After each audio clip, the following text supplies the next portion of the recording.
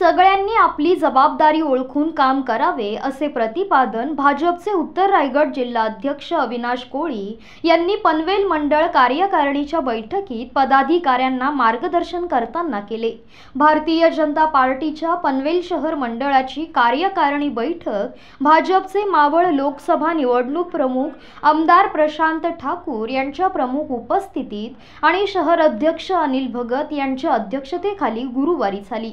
या बैठकीमध्ये पनवेल शहर मंडळाच्या कार्यकारिणीवर नियुक्त करण्यात आलेल्या सर्व पदाधिकाऱ्यांना नियुक्तीपत्राचे वाटप करण्यात आले. तसेच राज्याचे उपमुख्यमंत्री देवेंद्र फडणवीस यांच्या वाढदिवसानिमित्त आमदार प्रशांत ठाकूर यांनी पनवेल महानगरपालिका क्षेत्रात दोन हजार तेवीसमध्ये जन्मलेल्या एक हजार मुलींना सुकन्या समृद्धी योजनेचा लाभ देण्याचा संकल्प करून स्वखर्चाने एक हजार रुपये भरून या बालिकांचे नवीन खाते उघडले होते. या उपक्रमाचा लाभ घेतलेल्यांना या कार्यक्रमाचे औचित्य साधून सुकन्या योजनेचे पासबुक तसेच खेळण्याचे वाटप करण्यात आले.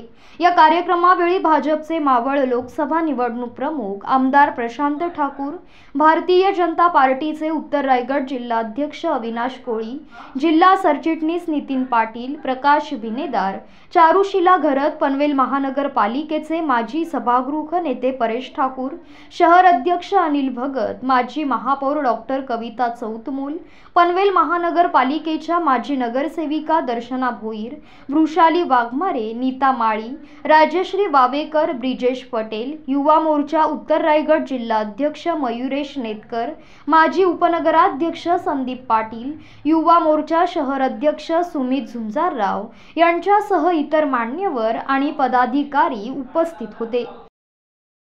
आपण दोन सरचिटणीस उपाध्यक्ष चिटणीस खजिनदार ही तर जबाबदारी आहेच. आणि कार्यकारिणी सदस्य. म्हणून आपल्या सगळ्यांकडे जबाबदारी असेलच. वेगवेगळे मोर्चा जे आहेत सात मोर्चे आहेत. जवळजवळ तीस वेगवेगळे सेल आघाड्या आहेत. एवढी कार्य एवढ्या जणांना आपल्याला जबाबदारी पदाधिकारी म्हणून आपण देणार आहोत. पण हे सगळं करत असताना आपण याच्या पुढच्या कालावधीमध्ये मंडल अध्यक्ष आणि सरचिटणीस यांच्या बरोबरीने उपाध्यक्ष चिटणीस बाकीचे सगळे महिला मोर्चा असेल युवा मोर्चा असेल सगळ्या मोर्चा आघाड्या असेल सगळ्या पदाधिकाऱ्यांनी कार्यालयामध्ये येऊन पुढच्या कार्यक्रम कुठले आहेत उपक्रम कुठले आहेत त्याच्यामध्ये त्या नियोजनामध्ये आपलं सहकार्य कसं राहणार आहे सहभाग कसा राहणार आहे याच्यासाठी म्हणून याच्या पुढच्या सगळ्या कालावधीमध्ये तुमच्या सगळ्यांकडनं अपेक्षा आहे. यावेळी माजी सभागृह नेते परेश ठाकूर यांनी संघटनेसाठी जास्तीत जास्त वेळ देऊन संघटना मजबूत करण्यासाठी काम करावे असे आवाहन केले. संघटनेसाठी आपला जास्तीत जास्त वेळ हा आपण द्यावा आणि जेणेकरून सांगता या इथे सरकारी योजना आहे सरकारी योजना या जनतेपर्यंत पोहोचतील.